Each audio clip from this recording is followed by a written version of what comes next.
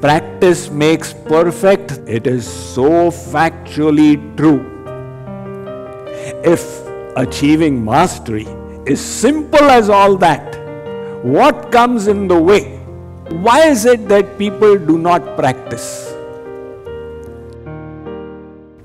When Arjuna asked Sri Krishna, Chanchalam mana Krishna pramathi balavadridham निग्रहम मन्ये वायो रिवसु दुष्करम ओ Shri Krishna my mind is so Chanchal so fickle क्षण मायाति पातालम क्षण याति नवस्थलम। One moment here one moment there to me it seems that this mind is more difficult to control than the wind The Sri Krishna did not say, Arjun, tu kya bak bak karta hai? Sri Krishna said, Asanshayam Mahabaho Mano Durnigraham Chalam Abhyasena tu Kaunteya Vairagyena cha grihyate. Arjun, what you are saying is undoubtedly correct. The mind is difficult to control. Difficult, but not impossible. Sri Krishna did not say anigraha. If he had said anigraha, there would be no use having this transformation program. We may as well all have admitted defeat. But he said durnigraha, difficult. So, Sri Krishna says, Arjun, abhyasena tu kaunteya vairagyena cha grihyate. You will control the mind through repeated, repeated, repeated practice. There is no alternative to practice. That means every time the mind goes away, you bring it back. Every time it goes away, you bring it back. A social scientist called K. Anders Ericsson. He wanted to see how do people become world class. Are they born with such talent or does it develop with practice? in any field, those who are world class violinists, dancers, writers, or speakers, or sports people, how did they reach that level of proficiency? And he discovered this 10,000 hour rule. Invariably, these world class performers had put in 10,000 hours of practice by the time they reached the age of 20 years. That repeated practice distinguished them from everybody else. First, something was so difficult to do, so you were consciously incompetent at it. But then you kept practicing and you became consciously competent. And as the practice increased, you became unconsciously competent. That was the mastery.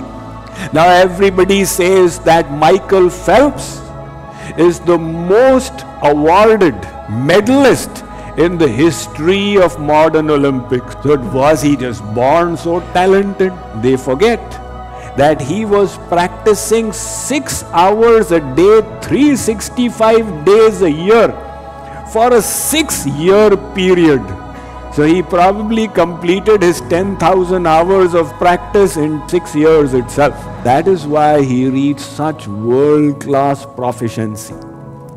So, whatever be the field, if you wish to manage your mind and your attitudes, again the same principle. You have to practice and practice and practice.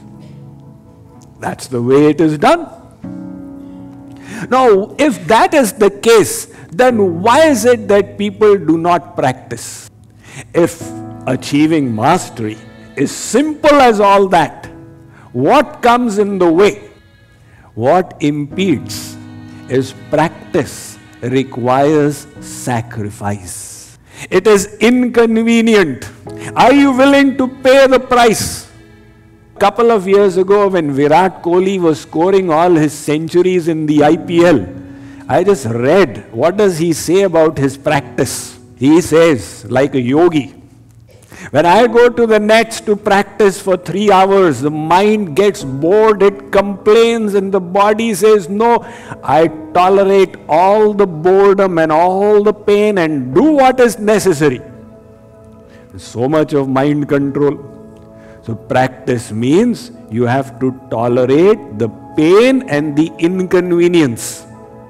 There was one significant athlete, a black American called Edwin Moses. He held the record for the maximum number of races won. He won 122 races over a long stretch of many years without any defeat in between in the 400 meters hurdles.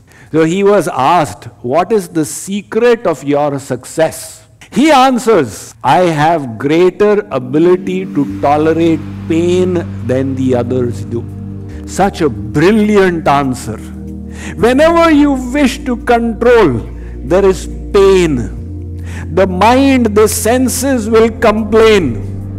Are you willing to tolerate that pain and achieve mastery or not? That is why the poet said, The lives of great men were not made by sudden flight, but while their friends slept, they were toiling upwards in the night. In this world, nothing is going to come free. You have to pay the price for it. If you want success, pay the price through repeated austerity, discipline, practice, and self control. Are you willing to pay the price? No, Swami. Okay. No, I want success, but I don't want to pay the price. That will never work. There was once a king. He wanted to leave a message of wisdom to enlighten the future generations with the wisdom of his age. So he gathered all the ministers and the wise people and said, Come up with some extract that I can leave behind as a heritage through which future generations will gain wisdom. All these saints, wise people, scholars, they wrote a four page extract and brought it to the king. The king said, It's too long. In today's age of WhatsApp, who reads four pages? People keep forwarding messages, but who reads it? You know, I've heard a joke which also came through WhatsApp.